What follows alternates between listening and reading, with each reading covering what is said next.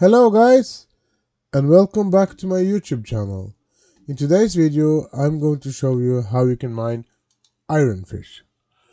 Now Ironfish is a new coin, not that new, uh, it has been out for testing since, uh, since last year.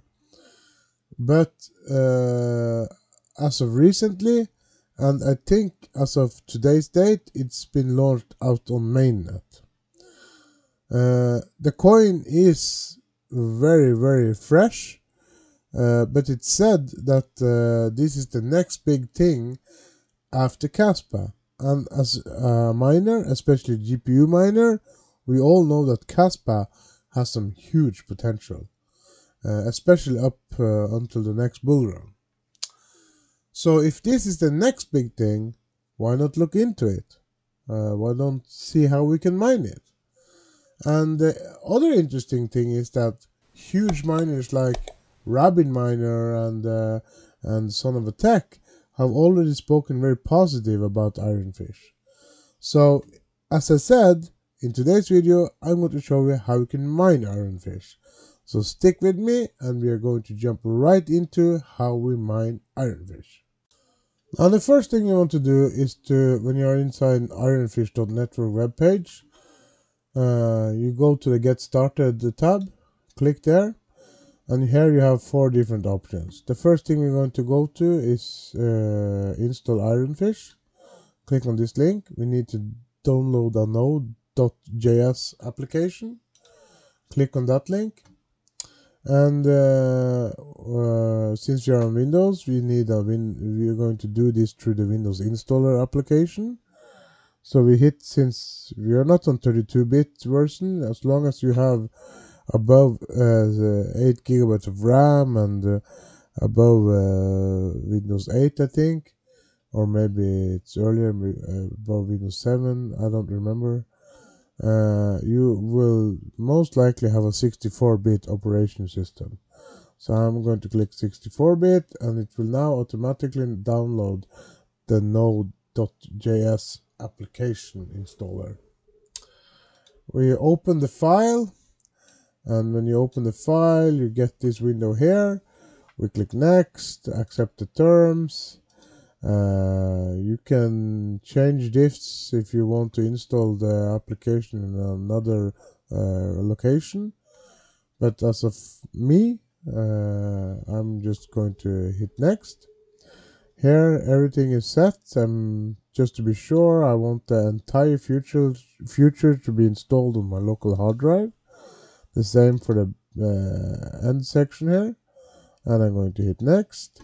And I also want uh, it to automatically install necessary tools.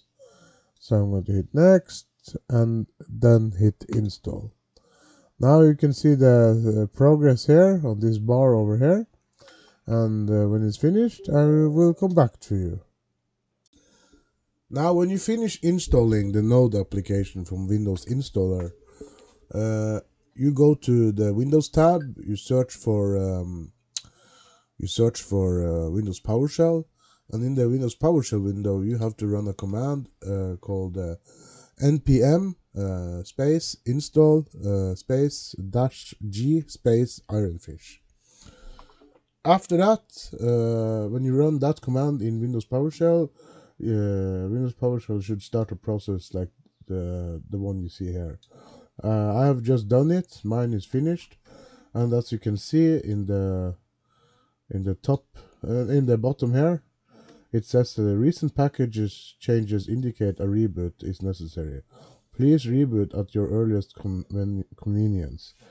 Type enter to exit. So we're going to type enter to exit. Now I'm going to reboot my system and uh, uh, and uh, going over to the next step and so just keep with me i'll be right back now we have booted up the system so let's try to run uh, ironfish i have opened up the windows powershell window I just uh, type in ironfish here and it should uh, give us the command list. And this is what I got uh, an error on, on my test bench. So I'm going to find I don't didn't don't remember the commands uh, to run this as in uh, administrator privileges, but I'm going to find it and come back to you because I also think you will get this problem uh, or this error message when you start just try to type in ironfish as I did. So I'm just going to find it I'll be right back. Okay, after some googling, I found the uh, the right command because I tried to start it with right clicking uh, and start run as administrator, but it didn't work. As you can see here, I still got the error message. so, but what you need to do is to use this command if you're also getting this message after run uh, after you have run the Windows PowerShell as an administrator. So you just set uh, this command here, set uh, dash ex execution policy space unrestricted and after that you can type in ironfish. And then you get this list here as the same as you can see here. So for the next we are going to uh, uh, follow the next step.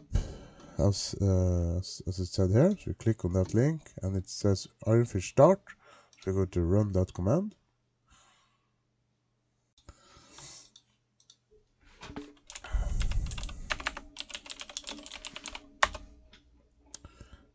and we get the same window and now you probably get a message like this. So you just active accept uh, accept it through the firewall.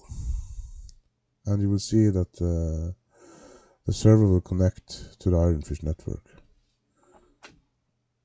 Okay it's actually syncing so we have to wait before we continue. I thought maybe it was finished and we had to run that command but now we just have to wait until uh, the node has finished uh, syncing with the network. So when that's finished, I will come back to you.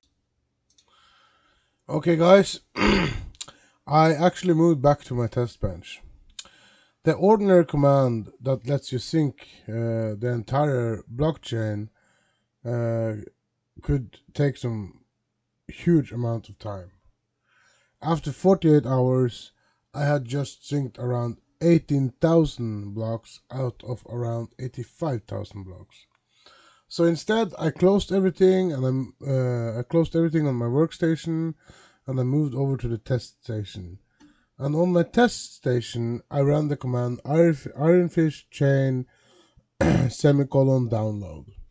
And as you can see here, uh, th these are just snapshots uh, of uh, the process, but as you can see here when I ran that command uh, after it had uh, finished uh, downloading a snapshot of the blockchain I could now run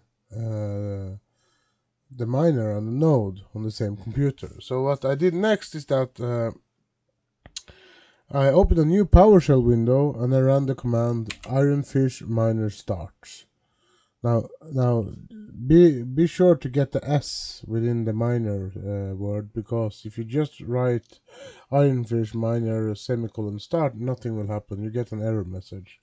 So remember, ironfish miners semicolon start, and after uh, after you had connected to the node, and you get the message that it's successfully connected to the node, you will get the hash rate. And as you can see here, it's around 27 megahash per second.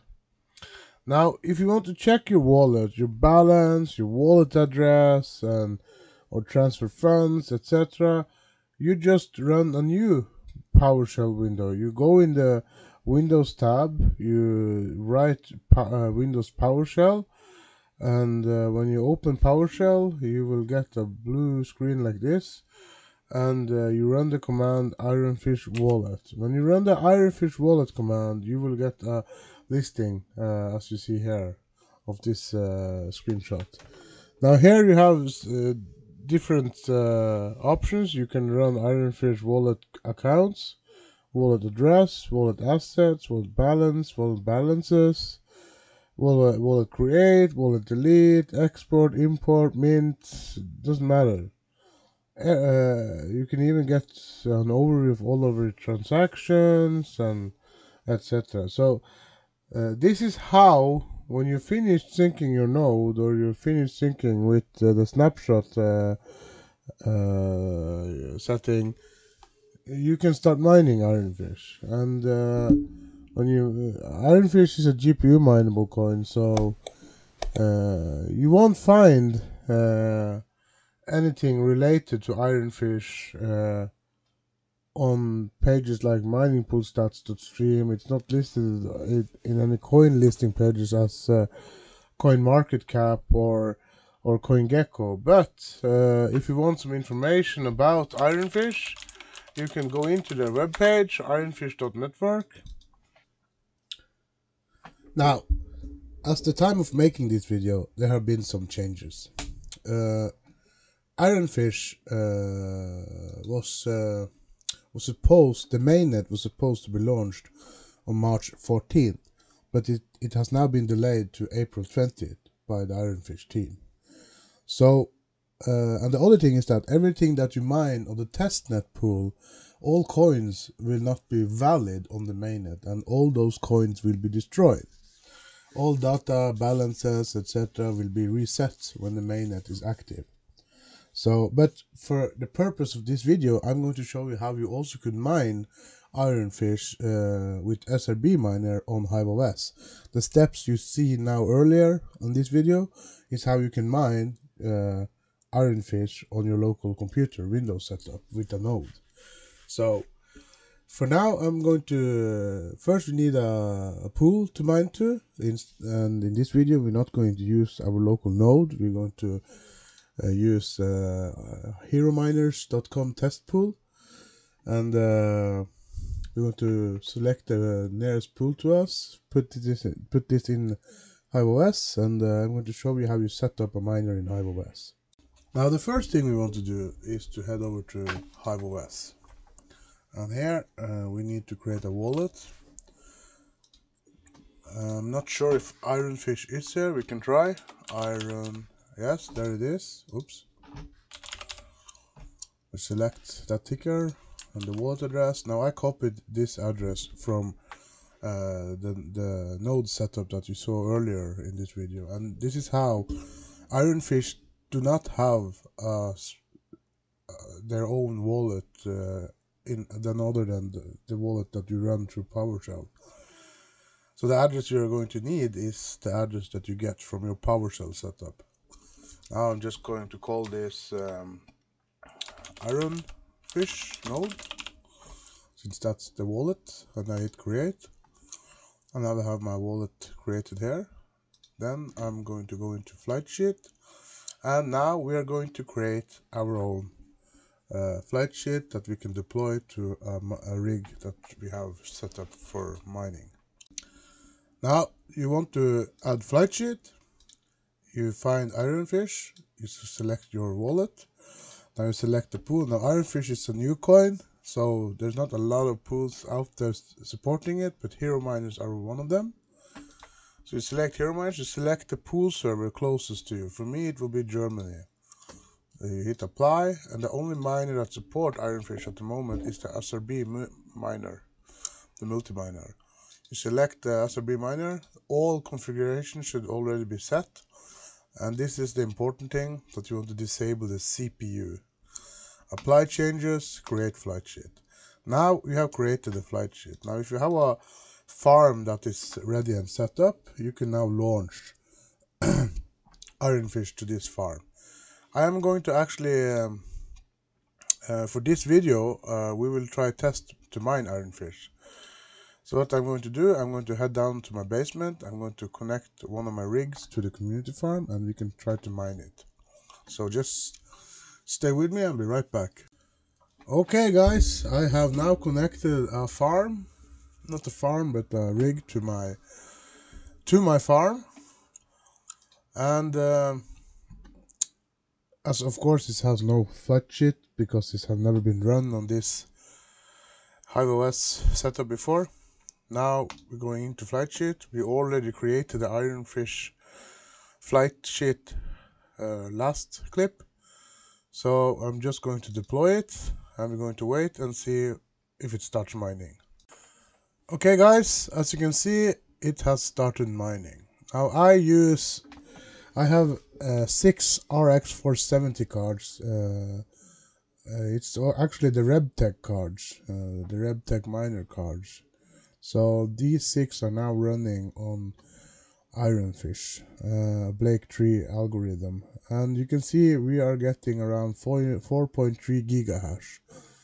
Now I will let this run for 24 hours to see how much um, uh, how much uh, coins uh, it will be uh, mining. And uh, yes that's it guys. Uh, this is how you can set up Ironfish on uh, you see now it's actually up in 5.8 gigahash this is how you can set up Ironfish both on your Windows with your own local node or through HiveOS and you can mine it now keep in mind as it said here in Hero Miner's webpage this is a testnet pool Testnet coins will not be valid on the mainnet. All coins will be destroyed. The mainnet, which was planned to be activated on March 14, was de delayed to April 20th by the Ironfish team. So I won't be running my um, my, my miners for uh, more than 24 hours. It's just to see how much uh, coins I can get for 24 hours. But in any way, I will shut it down after 24 hours and I will wait until uh, the mainnet is launched because there's no point for me to mine on testnet if I can't be using those coin on the mainnet or or uh, or uh, uh make some transaction with them uh, as long as they will be destroyed. So there's no point in me in using my power in the long run and then I have to start all over again when mainnet is is launched. So, but for this video and for this, uh, for my community and the uh, you viewers, uh, I will mine it for 24 hours. I'll post it in my blog uh, what the result is when it's, when it's finished mining. And hopefully uh, on April 20th, I, I could start mining ironfish for real. So, if you have any questions about the ironfish, you or uh, you have you want to read more, you just go into ironfish.network webpage. Here you have everything, the white papers, and and uh, I think you they also have a Discord or something. Yes, here they have on the links on the bottom of the page. Here you can go to Twitter, Discord, Reddit. They have Telegram. So if you're interested, I I follow uh, a lot of different uh, projects on Discord. And if I have any questions, I just ask on the Discord. That's a nice way of you to getting know uh, more things about the project through Discord because normally they have a good community and there are always someone there who can answer your question. So now, if you like this video, please uh, hit that subscribe button and the notification bell. If you have any comments, please comment down below. Don't forget to hit, also hit that uh, thumbs up uh, button. Uh, thank you very much for watching. I hope you enjoyed the video and I'll see you next time. Have a nice day.